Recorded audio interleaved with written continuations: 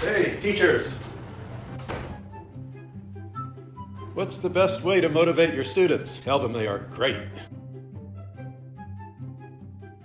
Push, push, push them to work harder. Beg them. Inspire them.